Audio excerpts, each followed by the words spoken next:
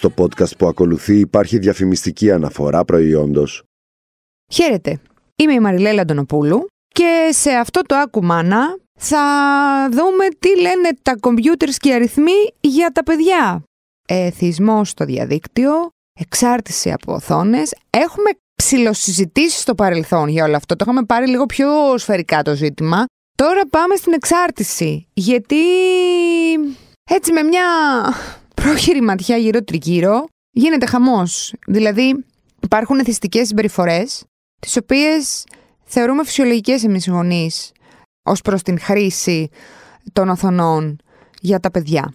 Πριν πάμε εκεί, θα πω για ένα smartphone, θα πω για, για μια οθόνη, αλλά δεν θα πω πάρε, δώσε το κινητό, δώσε το smartphone στο παιδί σου να βγάλει φωτογραφία. Όχι. Θα πω ποιο είναι το καλύτερο κινητό, το καλύτερο smartphone, για να βγάλεις εσύ το παιδί σου φωτογραφία και εσάς γενικότερα. Μιλάω για το νέο Galaxy S22 Ultra που σε βοηθά να κάνεις τις νύχτες σου επικές χάρη στο Nightography είναι ένα σύστημα με σετ καμερών που κάνει τη νύχτα μέρα σε βίντεο και φωτογραφίες. Και όταν λέω τη νύχτα μέρα, εννοώ για πάρα πολύ ωραία ανάλυση, λεπτομέρεια, χρώματα στα βίντεο. Δηλαδή βγαίνουν αυτά τα πράγματα, τα σκούρα που σα. Εγώ δεν τα μπορώ με τίποτα και σας έχω μιλήσει και για αυτά στο, στο παρελθόν.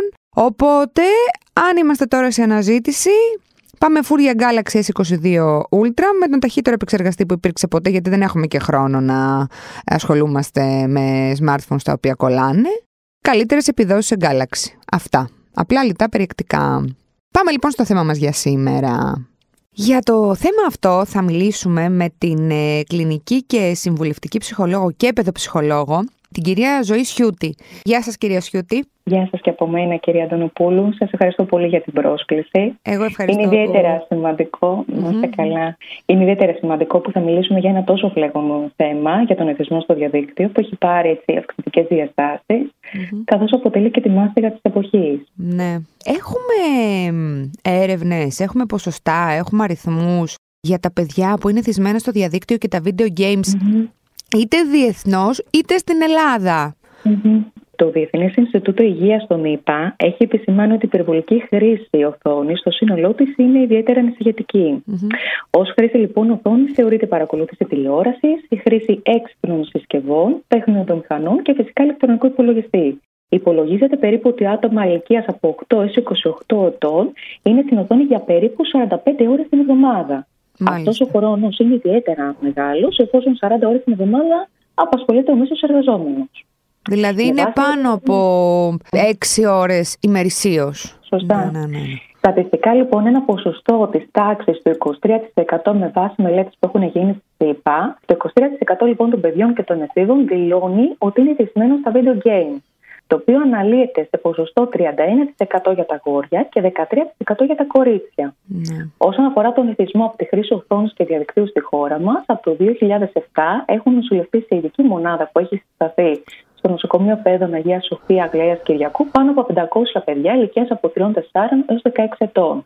Να σας πω την αλήθεια γιατί ναι. το έχω δει και εγώ αυτό το, ναι. τον αριθμό. Δεν σοκαρίστηκα τόσο πολύ για το 16. Αρχικά, να πούμε κάτι. Χαίρομαι πολύ, χαίρομαι μέσα σε πολλά εισαγωγικά που υπάρχουν γονείς που πάνε και το αντιμετωπίζουν.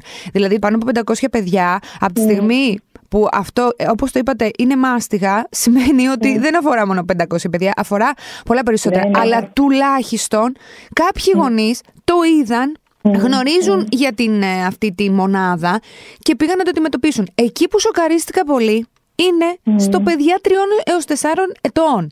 Όχι γιατί ε, δεν το βλέπω προσωπικά επειδή εγώ μπορεί να έχω μικρό παιδί, απλά Δηλαδή ένα παιδί ακόμα δεν βγήκε από το αυγό, να το πω έτσι. Ναι, ναι, ναι. Έχει φτάσει στο σημείο να είναι εθισμένο. Άρα σημαίνει ότι μπορεί ένα παιδί να εθιστεί στο διαδίκτυο πολύ νωρίτερα από την εφηβεία, έτσι, από πολύ νωρίς.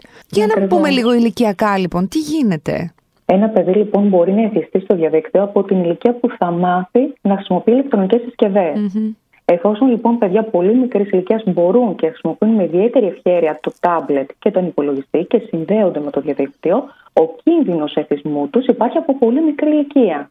Στου παράγοντες κινδύνου θα πρέπει να συνυπολογιστεί και το lockdown λόγω της πανδημίας. Ναι, ναι, ναι. Ήταν, αυτό ήταν ναι, μαχαιριά. Ακριβώς. Ακριβώς. Και μάλιστα ένας μεγάλος αριθμός ερευνών έχει αναδείξει τη σπουδαιότητα της ύπαρξης ρουτίνας για την υγεία και την υγεία βασικά συναισθηματική και ψυχολογική ανάπτυξη ενός παιδιού.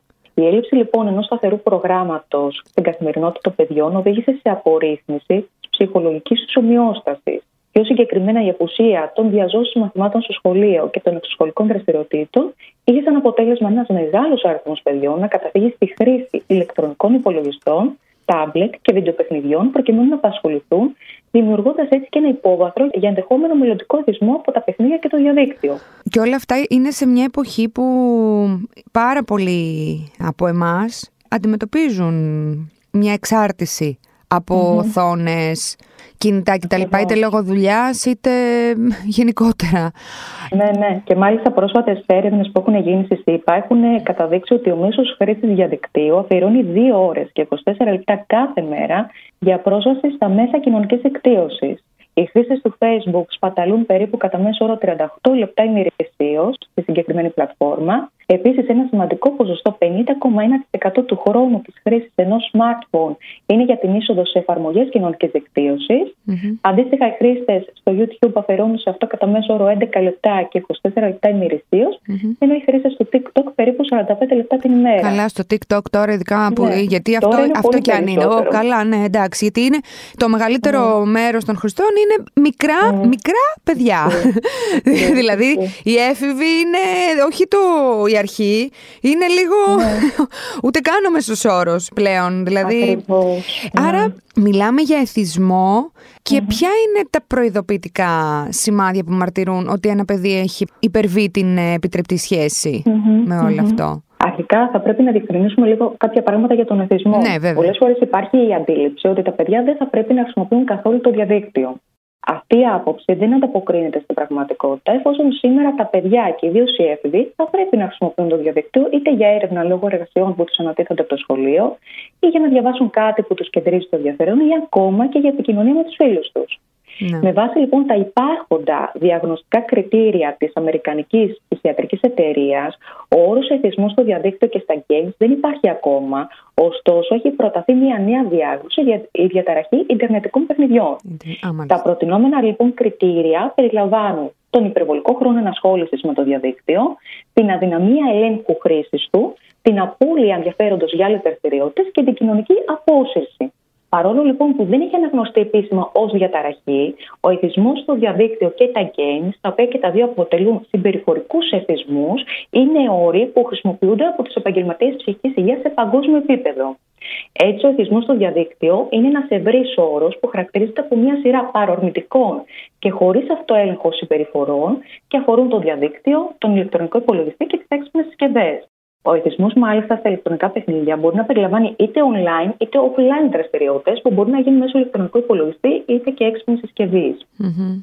Όταν λέμε υπερβολική ορίζεται ποσοτικά ε, ανάλογα με την ηλικία.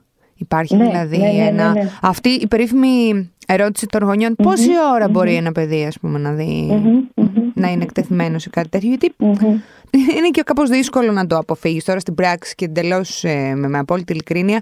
Είναι δύσκολο να πεις σε ένα παιδί να κάνει κάτι που έτσι κι αλλιώς σε βλέπει να κάνεις κι εσύ. Ε, εγώ το τονίζω πάρα πολύ αυτό, γιατί πραγματικά είναι, είναι πραγματικότητα. Είναι ελάχιστα τα σπίτια πια που δεν ε, κατακλείζονται από αυτό. Σωστά, σωστά. Αυτή είναι η αλήθεια. Γι' αυτό λοιπόν ερχόμαστε και στο τι μπορεί να κάνει ένας γονέας για να σταματήσει τον εθισμό mm-hmm. ενός παιδιού στο διαδίκτυο. Αρχικά, όπως είπαμε, να, να θέσει όρια. Δηλαδή, αυτό που λέτε είναι πάρα πολύ σημαντικό να υπάρχουν κάποιοι χρονικοί Γενικά, ε, τα guidelines που έχουμε είναι ότι καλό θα ήταν παιδιά κάτω των 2 ετών να αποφεύγει τη χρήση οθονών. Mm-hmm. Παιδιά ηλικίας από 2 έως 10 ετών θα ήταν καλό να χρησιμοποιούν το υπολογιστή μέχρι περίπου μία ώρα την ημέρα και κατόπιν επίβλεψη από το γωνία. Και παιδιά ηλικίας άνω των 10 ετών και έφηβοι να χρησιμοποιούν τον υπολογιστή μέχρι και 2 ώρες την ημέρα, αφού πρώτα όμω είναι συνεπεί με τις υπόλοιπες υποχρεώσεις τους. Ναι. Επίσης, πολύ σημαντικό αυτό το οποίο είπατε, να, ο ίδιος ο γονέας να θέσει όρια και στον ίδιο τον εαυτό. Τα παιδιά έχουν ως πρότυπο τους γονείς τους. Οπότε είναι σημαντικό και οι ίδιοι να περιορίζουν τη χρήση για να λειτουργήσουν ως πρότυπο τα ίδια. Ναι, αυτό Ισχύει και ναι. ειδικά και γενικά, μπορούμε να πούμε. Άρα, αυτό που γενικά ε, λέμε ξανά και ξανά τα τελευταία, τα τελευταία χρόνια, ότι Βρε παιδί μου, αυτό το παιδί λες και γεννήθηκε με τσιπάκι. Μα τι είναι αυτά τα, τα μικρά, πώς ξέρουν και χειρίζονται; Τώρα αυτό είναι κάτι που το λέμε συνέχεια. Ότι κοίτα εδώ, πώς κουνάει το δάχτυλο. Αυτά έχουν γεννηθεί, λες και ξέρουν. Δεν ισχύει κάτι από όλα αυτά. Αυτό που ισχύει είναι ότι επειδή μας έχουν δει, μάλλον να κάνουμε εμείς. Είναι, είναι μίμηση προτύπου. Είναι μίμηση προτύπου. Μας έχουν δει. Τα παιδιά παρατηρούν πάρα πολύ καλά τους γονείς τους και τις κινήσεις και επαναλαμβάνουν ακριβώς το ίδιο που έχουν δει μέσα στο σπίτι. Ναι. Να σας ρωτήσω κάτι κυρία Σιούτη. Όταν ναι. βλέπετε Θέλω να μου απαντήσετε απολύτως ειλικρινά. Όταν βλέπετε ε, μια οικογένεια να έχει βγει έξω για φαγητό και ενδεχομένως κάποια στιγμή την ώρα του γεύματος το παιδί να ε, βλέπει λίγο ένα παιδικό, ας πούμε, στο, στο κινητό της μαμάς και του μπαμπά. Πώς νιώθετε, Κοιτάξτε, αυτό θα πρέπει να διερευνηθεί και κάτω από συγκεκριμένες συνθήκες mm-hmm. για ποιο λόγο γίνεται στην mm-hmm. οικογένεια. Mm-hmm. Πάντως, εμένα προσωπικά, αν μιλήσουμε σαν, σαν άνθρωπος, με λυπεί εικόνα, διότι το παιδί αυτό θέλει επικοινωνία αρχικά και δεν απολαμβάνει τη στιγμή.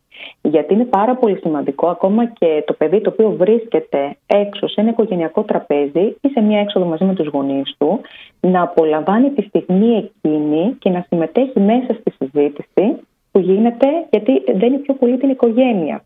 Ναι. Οπότε λοιπόν όλο αυτό είναι σαν να κρατιέται μια απόσταση ανάμεσα στους γονείς με το παιδί. Και είναι ένας τρόπος και αποφυγής κιόλας πολλές φορές. Ε, πολλοί γονείς αποφεύγουν και όλα στη συζήτηση, γιατί μπορεί να είναι κουρασμένοι από την καθημερινότητά τους. Το παιδί μπορεί αντίστοιχα να έχει κάποιο θυμό εκείνη τη στιγμή, να είναι λίγο δερέθιστο. Οπότε ο πιο εύκολος τρόπος είναι να δώσουν το τάμπλετ ή το κινητό στο παιδί, έτσι ώστε εκείνη τη στιγμή να ηρεμήσει ο θυμός του. Ναι. Άρα είναι πλασματικό αυτό, δηλαδή δεν. Σας το λέω γιατί είναι και αυτό που συμβαίνει πάρα πολύ και η αλήθεια είναι ότι τώρα, εντάξει, φαντάζομαι ότι αυτό που θα πω ισχύει για πολλούς ε, και πολλές από Όταν, ας πούμε, εγώ το έβλεπα στο παρελθόν αυτό το πράγμα να συμβαίνει, πριν γίνω γονιός ή πριν ε, εκθέσω και εγώ το παιδί μου σε, mm-hmm. σε οθόνες mm-hmm. κτλ. Ήμουνα μα καλά τώρα.Ήμουνα πάρα πολύ επικριτική. Πολύ, πολύ, δηλαδή mm. αφοριστική σχεδόν. Ε, που είναι κάτι που γενικά καλό είναι να μην κάνει. Να μην κάνουμε γιατί ναι, ποτέ, ναι, ναι, ποτέ μιλές ποτέ. Σωστά, σωστά, σωστά, σωστά. Κάποια στιγμή λοιπόν όταν.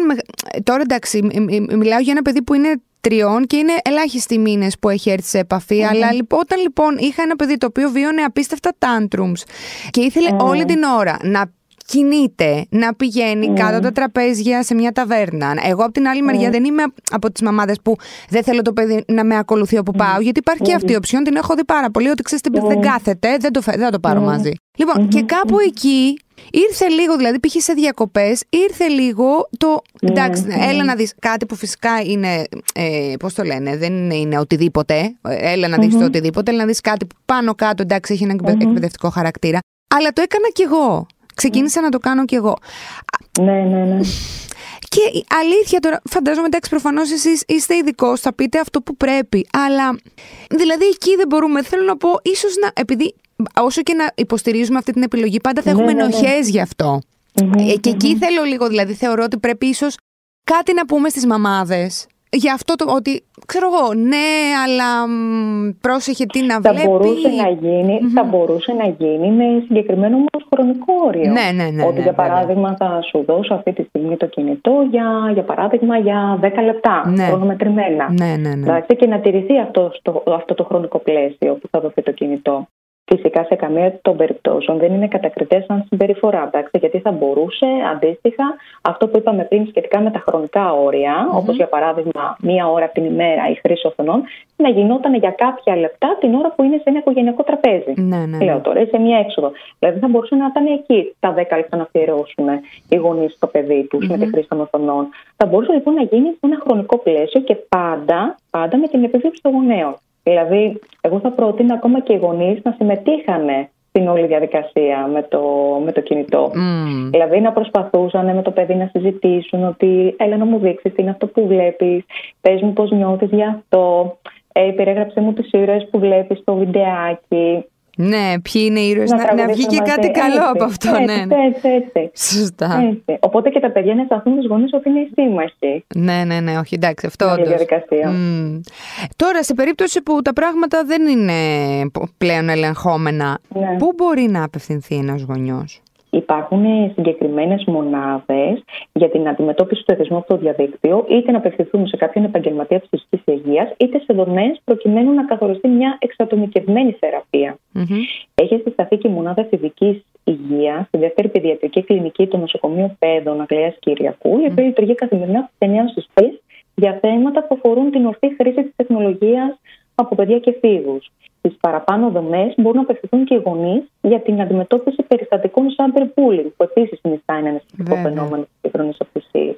Είπατε κάτι πολύ σωστό τώρα, το από το οποίο θέλω να πιαστώ, γιατί μπορεί να νομίζουν οι γονείς ότι αν φτάσουν στο σημείο ας πούμε να πάνε το παιδί για να, απο, να αποχωριστεί τις mm. οθόνες ότι είναι πονάει κεφάλι κόψει κεφάλι. Δεν είναι αυτό. Είναι η σωστή χρήση, είναι ορθή χρήση. Δηλαδή mm. δεν θα πει κανένας ότι τέλος δεν θα ξανα... Ε, όχι. Δηλαδή αυτό που λέμε σαν τιμωρία που ποτέ δεν γίνεται κιόλας και είναι αστείο. Δηλαδή, πάνω σημείο και μετά πιστεύω ότι τα παιδιά λένε καλά, εντάξει.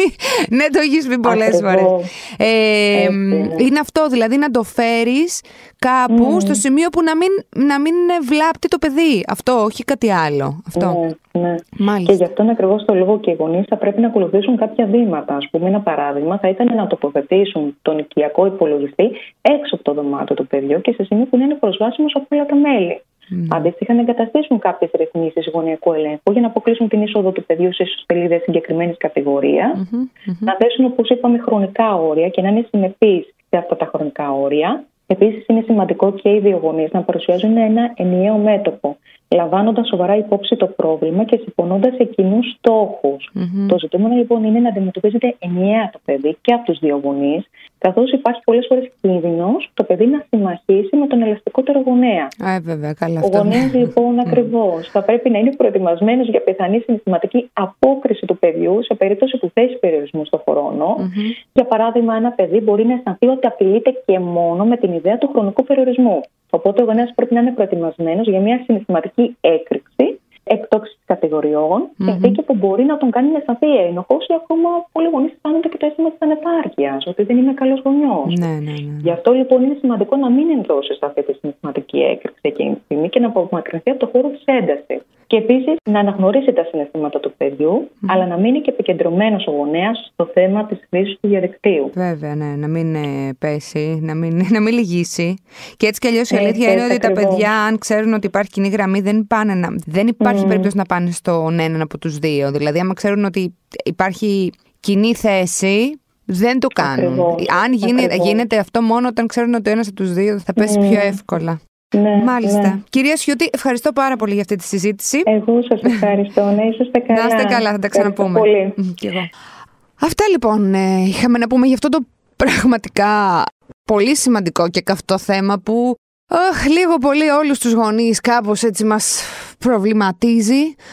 Χαίρομαι γιατί στο τέλος των περισσότερων podcast φτάνουμε σε μια μετριοπαθή κατάσταση. Δηλαδή αυτά που μας προβληματίζουν πιο πολύ βλέπεις ότι τελικά η λύση είναι κάπου στη μέση.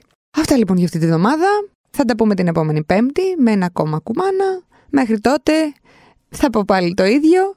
Μπαίνετε στο ladylike.gr, διαβάζετε όσα περισσότερα πράγματα μπορείτε και καταλήγετε στο No Filter Motherhood με θέματα σχετικά με τη μητρότητα. Γεια και χαρά!